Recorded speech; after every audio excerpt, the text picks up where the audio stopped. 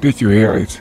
They are now plug and play solar modules that you can hang on a balcony or put in a garden and that make producing energy as simple as pushing a plug into the wall. Ideal for starters, right? Yes and no. I like the idea. But before you take a system, why not watch this video and be informed?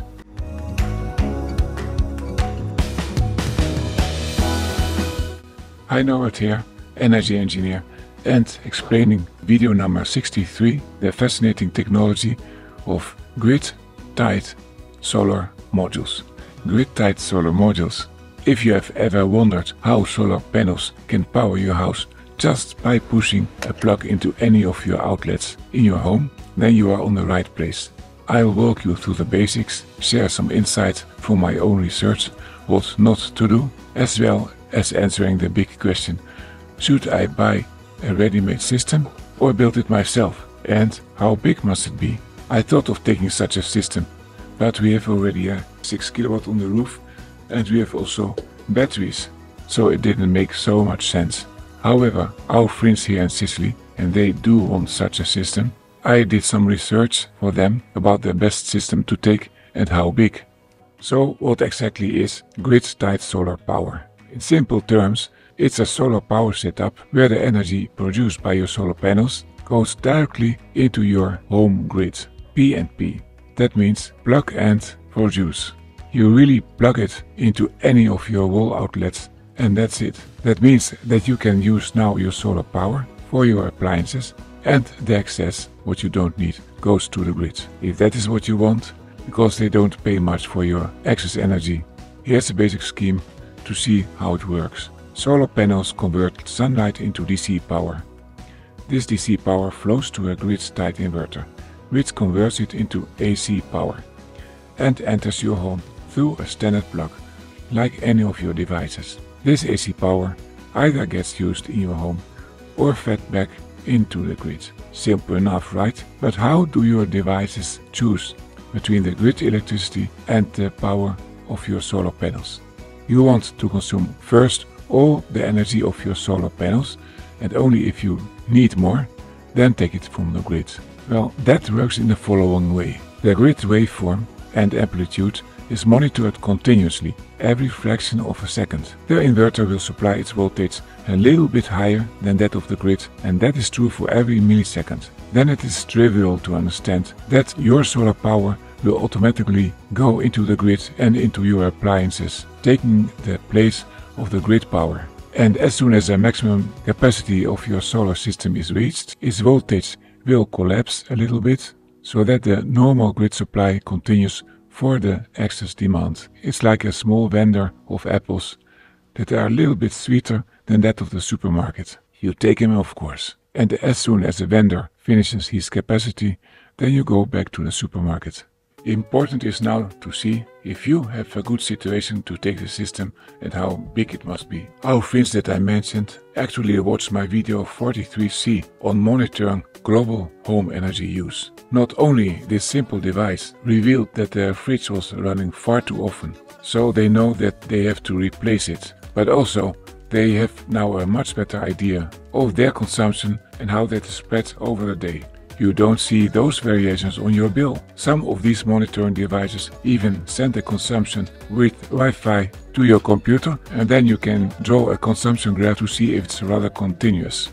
With a grid-tied system, you really want such a continuous consumption in order to catch all the energy that is produced. If it's not consumed right away, then it uh, can go into the grid and then they will give only a little money for it. Or the solar system will just stop producing. It's like that small apple vendor. He gives his sweet harvest only to the people that eat it there, right in front of him. Anyway, my friends realize that their consumption is rather continuous, so that not much solar energy is lost in the gaps of low demand. How to create such a situation of continuous demand? One tip is to focus on appliances that have a continuous energy draw, like air conditioners and refrigerators, which ask also more in the summer. Better if these kind of appliances run all the time, instead of switching on and off and on and off. with a thermostat, like the old ones, so they should be of the inverter type. This technology is also better in terms of energy efficiency. And that means that you need less panels. I am sure that my friends will take this modern fridge uh, with an inverter to replace the old one. They are well prepared to choose the right solar system of 700 watts. Now, one of the key features of most grid-tied solar panels is something called MPPT, or Maximum Power Point Tracker. Why do you need this? Well, solar panels don't produce always the same amount of power. They work differently, dependent on the amount of sunlight that is on the panels, and that changes during the day. The MPPT ensures that your solar panel is always working at their optimal power point, so that you get always the best performance of your panels. Before deciding if you want to make it yourself or buy it, give me a minute for the big picture. The next 15 years our behavior will determine if we crash or make a controlled emergency landing. Another outcome will be very improbable. In these 15 years, we certainly will hit one or more of the climate tipping points, which means that certain geographic systems will run away and become unstoppable. We households cover about a third of the total worldwide energy consumption. So let us show the big decision makers that we, normal folks, are smarter than they might think. We are the part of the society that raises the kids that will take over the planet. If you agree with me, let's form a community. Start by subscribing and share this channel to your friends. Look at the end of the video to the playlist and if you can find one that you want to learn more about. They cover 360 degrees of energy home. Let's now talk about the big decision. Buying a ready grid-tied system or building it yourself. If you decide to buy, then there are companies like EET in Europe, in uh, Austria, and also others that offer complete packages that include solar panels, the inverter, mounting material, and even batteries for energy storage. The great thing about this is the easy integration. Everything works fine together. Plus, they often handle a bit of the bureaucratic work.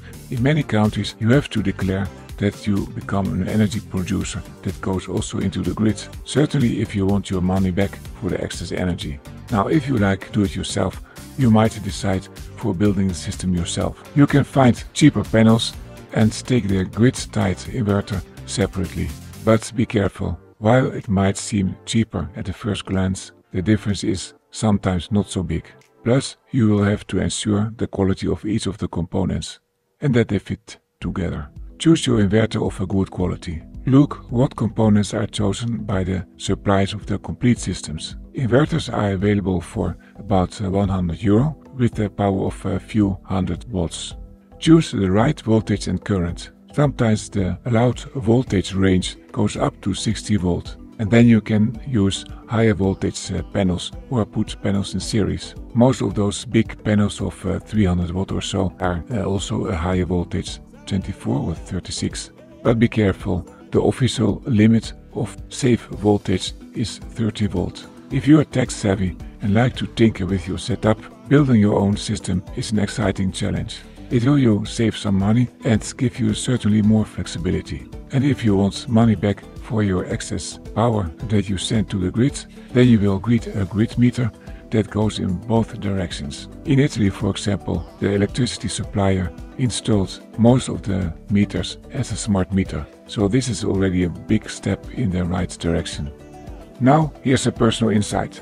I was planning to use these grid-tied solar panels with a small portable power supply to provide a 50 Hz reference frequency and a 230 volt reference voltage that these inverters need. Sounds good, right? I could use this PPS and combine it with few solar panels which were much bigger in power than the EcoFlow. These panels would be at the AC side with a much higher power. Well, after some research, I found that this configuration would actually damage the PPS but also the grid-tied inverter. I may feed the, the PV power only at the input of the PPS and so the disadvantage of that is that I have the limited power at the input but also at the output of this uh, PPS but the advantage is that it is stored and I can put away a few of the sweeter apples. If you find this video helpful, then please like, subscribe and hit the notification bell so that you don't miss out on future videos. And now I invite you to watch video 43c about monitoring your consumption. That is really a good start to understand how many sunny watts you can not only catch but also consume.